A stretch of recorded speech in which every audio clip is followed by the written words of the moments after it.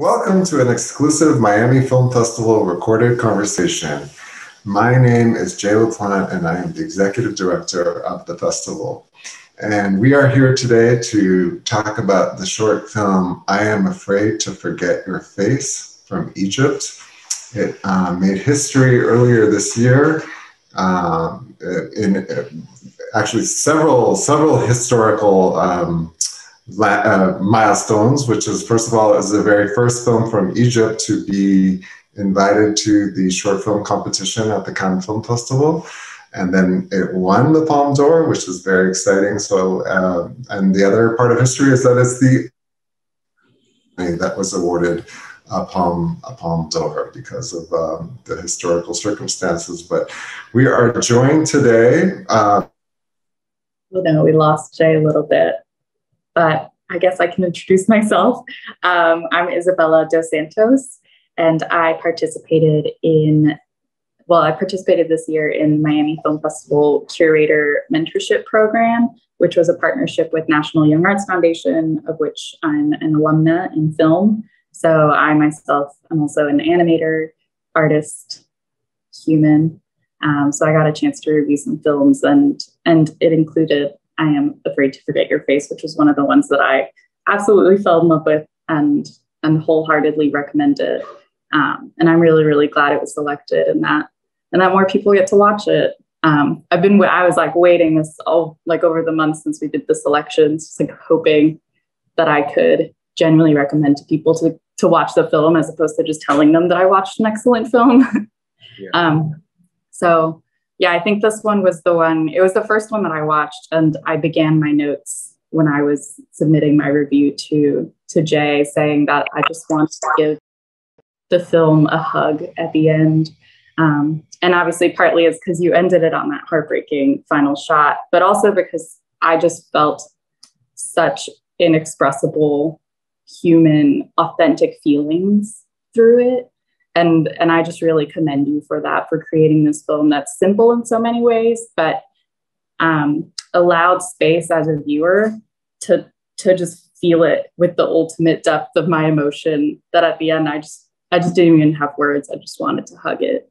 Um, so thank you for joining us for this conversation. I'm not sure if jaie will will come back um, but i'll start with some questions because i've been really excited to speak with you yeah, sure. I would like at the beginning to thank you, Isabel and the Miami Film Festival for inviting my film. It's a really big pleasure that you're doing all this effort during this hard time.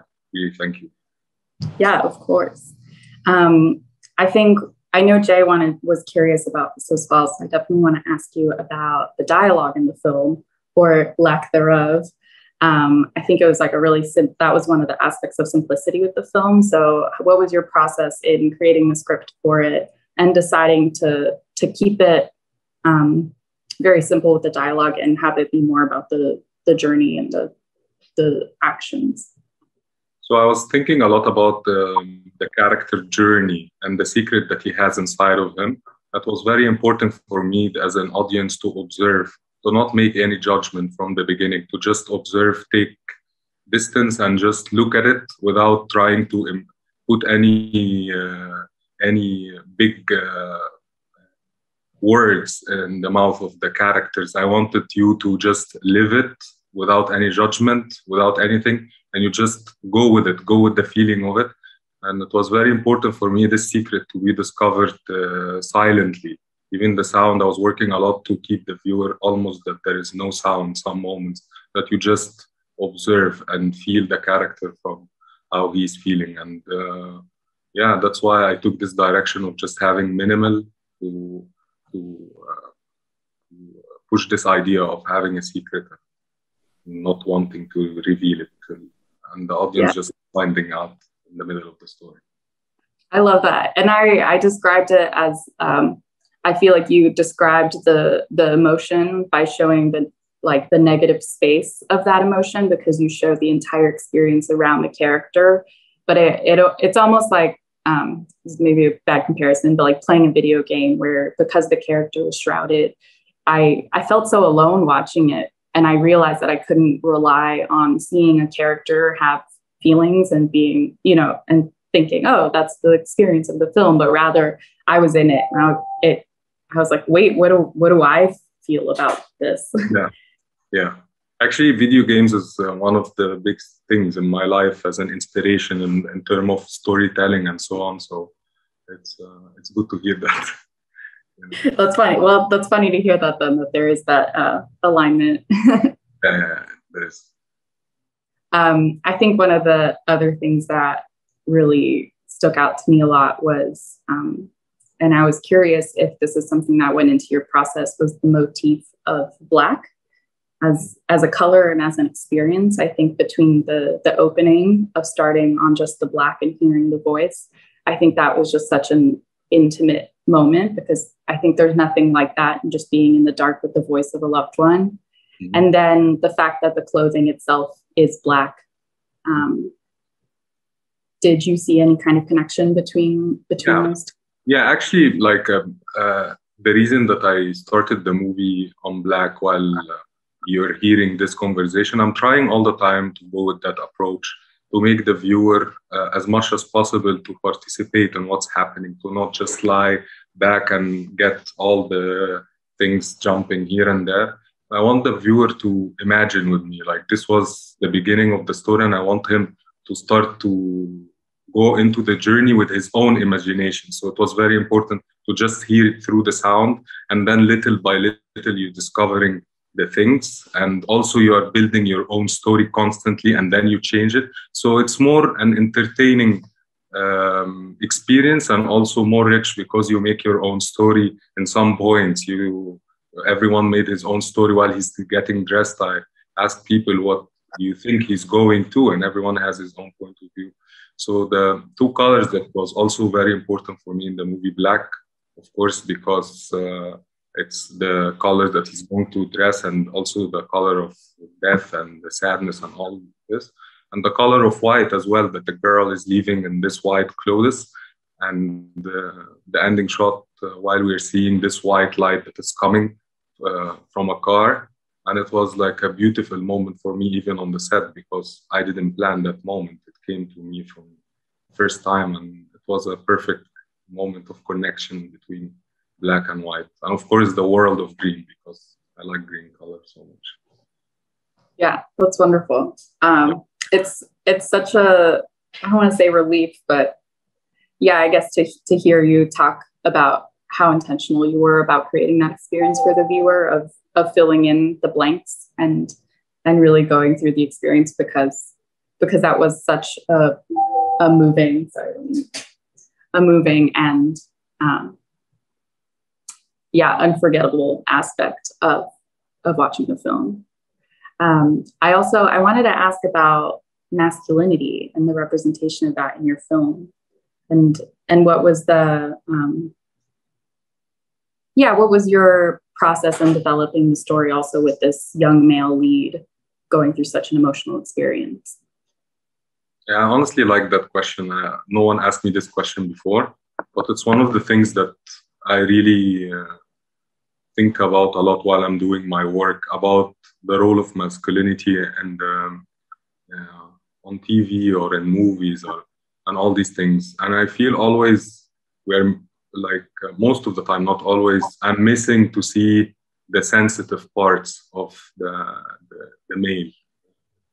So it was very important for me to discover this uh, sensibility and the feelings and uh, and um, the like the hidden emotions, like to see a guy that he's crying in the street on his own and all these things was very important for me. And all these images, I really, it inspired me. And I really want to discover more this part of the, the male that it's, I feel it's a bit forgotten because we see always the male as a representation of strong and savior and all these things. And I feel there is a missing part that interests me maybe much more. Yeah, I agree, and and I think also because it it is so rare, there's still such a, a depth of emotion there because it contra- it contradicts so much of what we currently understand of the world that it almost means so much more to see a young man or someone who identifies as a man going through these feelings. Yeah, um, yeah I'm glad about that. And then I I was also curious um, in terms of your or the the presence of of Egypt itself. And and I know that you've lived in a lot of other places as well and studied in other countries. And so, what did it mean to you to create this film in Egypt? Yeah. And because it is, it feels really sentimental in that way. Yeah, I actually lived my first 25 years in Cairo. Like, I didn't even travel that much from Cairo. I didn't even travel outside of Egypt. So I was very connected to the Egyptian uh, culture, and the first love is, of course, an Egyptian love. And like the whole world is was for me only Egypt. And when I started to go to other places, the stories even start to I start to reflect a lot on on things about the past, especially I, after I became 30, I start to think a lot about going to a different stage of life. And so reflecting a lot on the past while uh, while still doing something that is connected to my feeling nowadays. So, yeah. Yeah, I, that was something that resonated for me as well because I so I was born in São Paulo, Brazil, um, and I was I was much younger when I moved out, but it it had that feeling to me of being back home in my grandma's apartment, mm. Going through all these emotions of this of the world that you've lived outside of the protection of your parents or of your family home, and and both the comfort and the alienation of of like the wallpaper and the furniture that's there. Um, and and i think with that sentimentality also the the fact that you chose the 4-3 aspect ratio i think added to that feeling of it being a memory almost like a personal memory. Yeah um, I think I I watched an interview of you talking a little bit about the aspect ratio, but I wanted to hear you talk about it a little more because I know that there were a couple different factors. Yeah, actually, like uh, the ratio, I chose it for the reason that I wanted to always to feel the char- the main character of the story that he's always surrounded by lots of people and he's always stuck and he's afraid to get caught. So it was very important for me to see him in the bus and also during the big scene when he goes to the place of his girlfriend. So to see him always uh, in a small frame, so he gets like stuck between them. The other reason is more of a production reason because when the frame is smaller, you can put less people. Because when it's wider frame, I had to put more people. So it was saving some money, I think. So this was the two reasons I did that, and I really enjoyed it. And also there is another reason, but I don't really talk about well now that you mentioned I, I think lately lately cinema uh, tv took a lot from cinema you know? Like it took from them the camera movement took from them the framing. I'm, I'm not against that but i start to feel like cinema could go to the old language of tv that could also create something new for the viewer. So he experience something different when he, we go to the cinema. So it's somehow this is also one of the reasons, but I have it most of the time and while I'm working on a new story. Yeah, I agree with you. For me, it's frame rate. I think yeah. I, love, I love staying with the 24. There's something so, yeah. Um, and especially as an animator, because I understand the, the psychology of frame rates. Mm-hmm. The less frames you have, the more the viewer's brain has to work. And it, to me, there's actually a, a big connection to, to how you created this film of, of of leaving all these empty spaces where where the human has to put themselves into the film in order to get the full experience. And i think i think it definitely shows uh, so your values in cinema definitely show in the in i'm afraid to forget your face. Um, i think we got a warning about having a couple minutes left. So um, i guess i'll finish on asking what's next? What are you working on or what are you experiencing right now? Yeah, I'm actually working on uh, uh, one my first feature film, but still in, it's in the writing process, and I'm going next week in a residency in Paris to proceed writing the, the story. And the other thing that I'm doing my first short animation film. So okay. we'll see how it will be.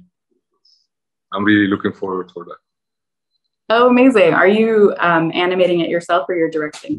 No, I'm still like I'm still in the process because I will find a collaborator to do that uh, story. That uh, it's a personal story that I wrote a long time ago. It's taking place in the '60s, so I needed to make it an animation. It's very important. Yes. Oh, I love that. That's exciting to hear. Yeah. Um, is there anything else that you would like to share?